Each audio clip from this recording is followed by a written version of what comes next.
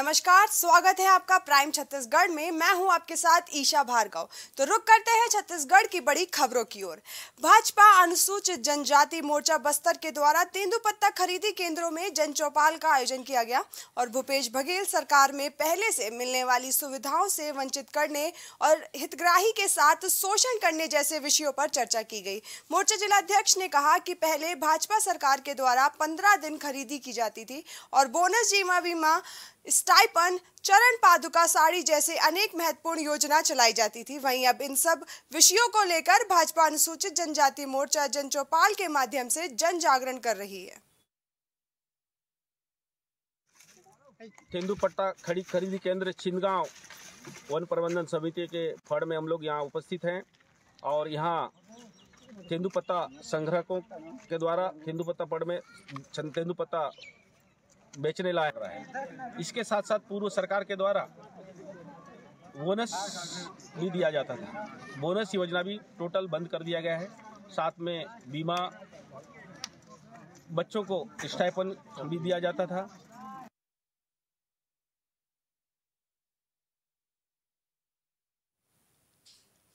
नगरीय प्रशासन विकास और श्रम मंत्री डॉक्टर शिव कुमार डहरिया दौरे पर सूरजपुर पहुँचे, जहाँ साहू समाज ने आयोजित कार्यक्रम में शिरकत कर माता कर्मा धर्मशाला भवन का भूमि पूजन किया। वहीं उन्होंने स्थानीय कार्यकर्ताओं से मुलाकात भी की। ऐसे में मीडिया से चर्चा करते हुए उन्होंने बताया कि कांग्रेस के सरकार में सभी जिलों में विकास हुआ है। वही सरगुजा में कांग्रेस गुटबाजी के सवाल पर उन्होंने कहा कि प्रदेश में सिर्फ़ एक गुट है, जो सभी के साथ के लिए काम करती है। वहीं बजरंग दल के बैन करने के पर उन्होंने कहा कि कोई भी उपद्रवियों के साथ मिलकर गलत करेगा तो उस पर कार्रवाई होनी चाहिए। समाज का भवन के लिए 50 लाख स्वीकृति हुई है। उसके आज भूमि पूजन किया हूँ और हमारे ज़िले के माननीय विधायकगण और हमारे कांग्रेस के कार्यकर्ताओं से बैठ के चर्चा भी किया हूँ। और माननीय मुख्यमंत्री जी के मनसानुरूप सभी विभागों का काम सुचारू रूप से चले। इस दिशा में हम लोग सरकार काम कर रही है। आ, किसानों के संबंध में और अन्य समस्याएँ जो उनका समय पर निराकरण हो। इसलिए आज कलेक्ट्रेट में मीटिंग भी ले रहा हूँ। कलेक्टर और हमारे अधिकारियों से हमारे विधायकगण भी रहेंगे उसमें।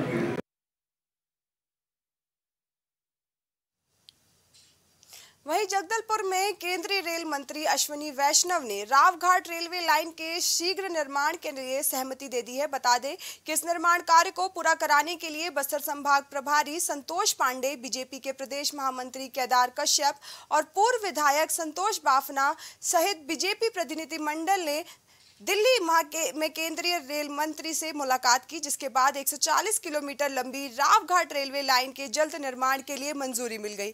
अब दोनों तरफ़ से रेलवे लाइन का निर्माण किया जाएगा। साथ ही केंद्रीय रेल मंत्री ने इस सिलसिले में डीपीआर जुलाई 2023 तक करने का आश्वासन दिया है। रेलवे मंत्री माननीय श्री अश्वनी वैष्णव जी से मुलाकात हुई। और वर्षों से जो लंबित थी, उस मांग को उन्होंने सहर्ष स्वीकृति दी। उन्होंने हमारे बस्तर के जगदलपुर से रावघाट की जो कहते हैं, रेलवे लाइन है, उस रेलवे लाइन के लिए जो डीपीआर बनाने की बात थी, उस डीपीआर बनाने को उन्होंने जुलाई तक पूरा करने का आश्वासन दिया है। और जल्द से जल्द सम्मानीय रेल मंत्री जी ने जो उत्साह और प्रेम वातावरण के साथ हम लोग के जगदलपुर से रावघाट रेल लाइन की मांग है, उस मांग का जुलाई तक डीपीआर बनाने का निर्णय, डीपीआर के बाद दोनों तरफ़ से काम कराने का आश्वासन ये हमको दिया है। उसके साथ हमने एक और भी बात रखी जिसको उन्होंने अपनी स्वीकृति प्रदान की है, वो है धमतरी से कोंडागांव होते हुए जगदलपुर रेल लाइन का सर्वे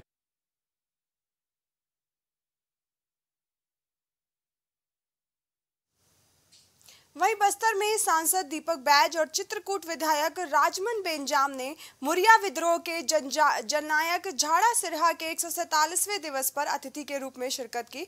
इस मौके पर दोनों कैसलूर चौक पर विधिवत पूजा अर्चना कर झाड़ा सिरहा की मूर्ति स्थापित कर आयोजित सभा में शामिल हुए। सांसद दीपक बैज ने आयोजित सभा को संबोधित करते हुए कहा कि विद्रोह में बस्तर की आदिम संस्कृति की रक्षा, जल, जंगल, ज़मीन की सुरक्षा, सामाजिक रीति नीतियों जनजातियों के संरक्षण और अंग्रेज़ों से मिले सामंतवादियों द्वारा किए जा रहे शोषण के विरुद्ध सभी आदिवासियों ने झाड़ा सिरहा के नेतृत्व में आवाज़ उठाई थी। अपनी कुशल संगठन समता और राजनीति के साथ पूरे दमखम से लड़ते हुए अंग्रेज़ी फौज के हाथों से झाड़ा सिरहा 1876 में वीर गति को प्राप्त हुए। उनकी ये वीर गति को युगों युगों तक याद रखा जाएगा।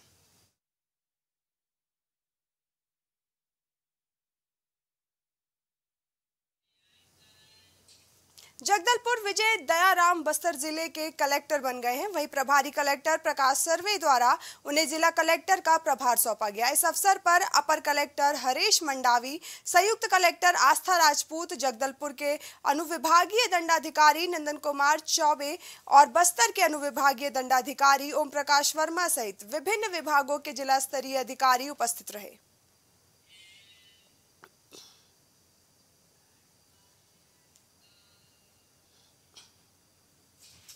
जगदलपुर में संसदीय सचिव विधायक रेखचंद जैन ने नगर निगम अधिकारियों और जनप्रतिनिधियों के साथ शहर में चल रहे निर्माण कार्यों का निरीक्षण किया और समय पर गुणवत्ता के साथ काम पूरा करवाने के भी निर्देश दिए। विधायक ने कहा कि मुख्यमंत्री भूपेश बघेल ने गढ़बो नवा छत्तीसगढ़ की तर्ज पर जगदलपुर को संवारने की जो परिकल्पना की है, उसे साकार किया जा रहा है। इसी कड़ी में शहर के रियासतकालीन तालाब दलपत सागर का संरक्षण संवर्धन किया जा रहा है।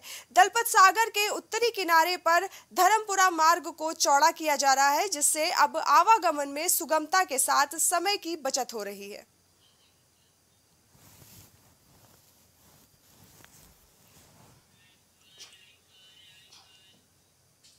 वहीं जगदलपुर में बुद्ध पूर्णिमा के अवसर पर वैलू वन बुद्ध विहार में आयोजित कार्यक्रम में विधायक जगदलपुर एवं संसदीय सचिव रेखचंद जैन शामिल हुए और समाज में उत्कृष्ट कार्य करने वाले युवक युवतियों को सम्मानित किया। इस अवसर पर उपस्थित लोगों को संबोधित करते हुए विधायक जगदलपुर और संसदीय सचिव रेखचंद जैन ने कहा कि भगवान बुद्ध का जीवन हमें सत्य और अहिंसा के मार्ग पर चलने की प्रेरणा देता है। भगवान बुद्ध ने सत्य, अहिंसा, करुणा का मार्ग दिखाकर हमें सिखाया कि घृणा को सिर्फ़ प्रेम से समाप्त किया जा सकता है।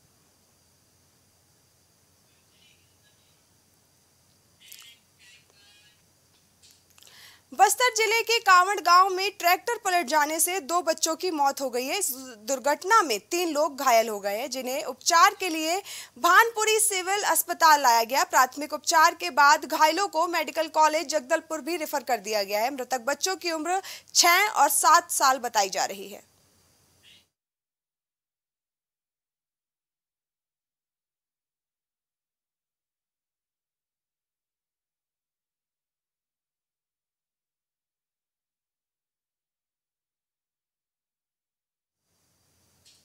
वहीं सूरजपुर में एक अज्ञात व्यक्ति का शव बोरे में मिलने से हड़कम मच गया है। सूचना मिलने पर पुलिस मौके पर पहुँच गई है और संदिग्ध होने पर विश्रामपुर पुलिस हत्या की आशंका को लेकर संदेहियों से पूछताछ भी कर रही है। इसी बीच पता चला कि मृतक शराब का आदि था और गाँव के ही एक महिला से मृतक का प्रेम संबंध चल रहा था। मृतक और प्रेमिका साथ में शराब पी रहे थे। इसी बीच एक युवक आकर विवाद करने लगा और विवाद इतना बढ़ गया कि दोनों ने मिलकर युवक की हत्या कर गला दबाकर कर लाश बोरे में फेंक दी। हत्या का अपराध दर्ज कर दोनों आरोपियों को न्यायिक रिमांड में भेज दिया गया है। एक मृतक का शव पोखरी में पड़ा है। सूचना पाकर हमारा स्टाफ के मौके पर जाकर शव निरीक्षण किया। शव निरीक्षण के दौरान पाया गया कि मृतक सुमार साय का गला दबाकर हत्या कर दिया गया है। सूचना पर अपराध पंजीबद्ध कर विवेचना किया गया। विवेचना के दौरान आरोपी सुंदर सुमार साय एवं भगमेन दोनों के द्वारा प्रेम संबंध की बात को लेकर के मार करके हत्या कर दी है।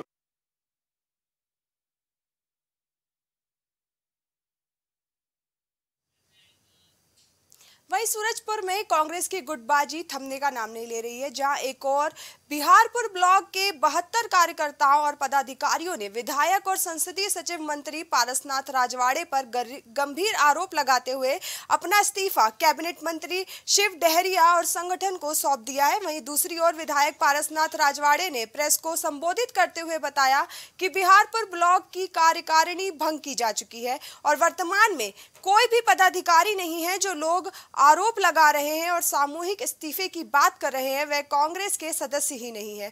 वहीं दूसरी ओर आरोप लगाने वाले कांग्रेस के कार्यकर्ताओं ने अपनी नियुक्ति पत्र जारी किया है, जिसमें जिला कांग्रेस संगठन के द्वारा उन्हें पदाधिकारी नियुक्त किया गया है। बिहारपुर क्षेत्र में वैकल्पिक व्यवस्था के तौर पर मंदेश गुर्जर को कार्य करने की स्वीकृति जिला कांग्रेस के द्वारा दिया गया था कि आप यहाँ तक देखभाल करोगे, दूरस्थ अंचल होने के कारण। वहाँ कि आप यहाँ तक देखभाल करोगे दूरस्थ अंचल होने के कारण। वहाँ पर अधिकृत रूप से कोई ब्लॉक घोषित न पार्टी संगठन से है, न राजस्व से है। वहाँ का ब्लॉक मुख्यालय वास्तव में कुड़गी है।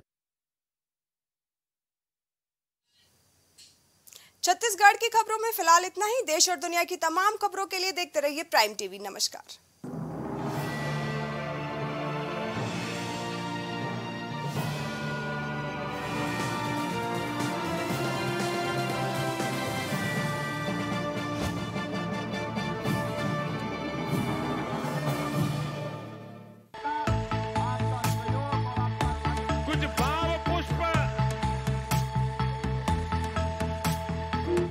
देख रहे हैं प्राइम टीवी सच साहस सरोकार